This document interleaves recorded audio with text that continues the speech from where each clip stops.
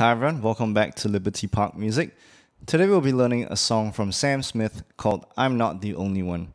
As usual, if you have any questions, feel free to just reach out to us and I'll get back to you as soon as I can. Alright, let's jump right in.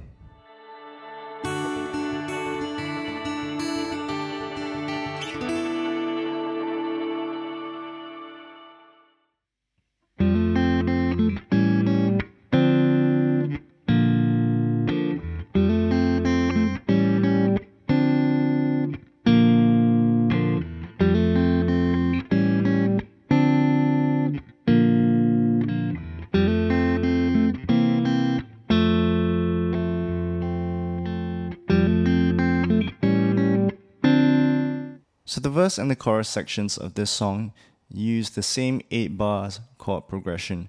Now just pay attention to how the D minor 7 comes on the first bar instead of the second bar. It's on the 4 end of the first bar. And on the B flat major, it's on the 2 end count.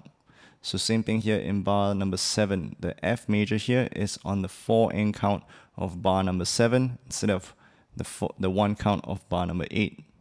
So this is the same repeating chord progression for the verse and chorus. Now the bridge section is slightly different, but it's not too tricky as well. Now one thing to note is the way we're going to play D minor 7 in the verse section, it's going to be very different from the way we play D minor 7 in the bridge section. And it's the same thing for the B flat major chord. The way we play the B flat major chord in the verse and chorus sections, they, it, that chord is going to be very different in the bridge section.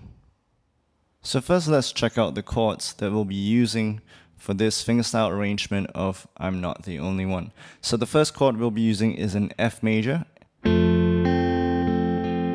you're gonna have to play it with your thumb because we have to do that lick. And you can't do it if you're doing your F major with a bar.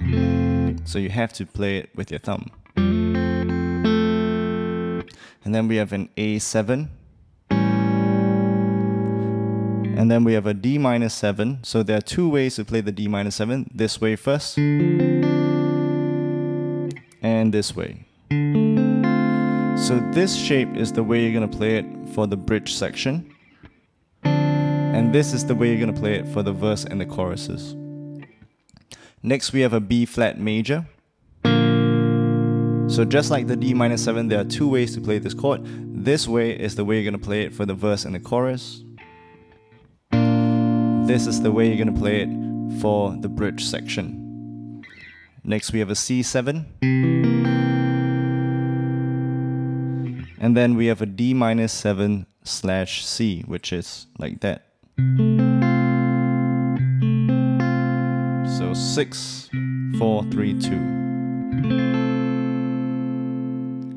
Now let's check out the finger picking pattern. Now timing is key for this entire song. So the first thing I want to point out is if you check out the chord chart, you'll find that for the first bar, it's F major, A7, and then the next bar is a D minor 7 and B flat major right? But for the D minus 7, the D minus 7 actually comes on the 4 end count of the previous bar. So it should sound something like this without the, the line. So it's 1 and 2 and 3 and 4 and. That's D minus 7. And the B flat major should come on the 2 end count. So now the B flat major with the B flat major. So 1 and 2 and 3 and 4 and 1 and 2 and 4 and. So once again, a bit slower. So 1 and 2 and 3 and 4 and 1 and 2 and 3 and 4 and. So again, the D minor 7 should come on the 4 end count of the previous bar, and the B flat major should come on the 2 end count now, another thing is in the eighth bar of the verse and chorus section. So on the eighth bar, it's just an F major chord, right? But like the D minor 7, that F major chord should come on the 4 end count of the seventh bar. So if I play from the seventh bar, it's F major, C7, and F major. So with the counting 1 and 2 and 3 and 4 and 1 and 2 and 3 and 4 and once more. So 1 and 2 and 3 and 4 and 1 and 2 and 3 and 4 and. Now that's the timing that we have to keep throughout the song. Now let's check out the finger picking pattern to get that iconic piano line. Thank you for watching. If you want to check out the full video lesson, please visit libertyparkmusic.com where we have online guitar courses available for streaming 24 7. Our courses are for beginners all the way to advanced players, and we have courses like Intro to Guitar, Jazz Guitar, and we have song lessons as well so you can learn your favorite songs. So if you want to try out Liberty Park Music for free for 30 days, sign up with us today.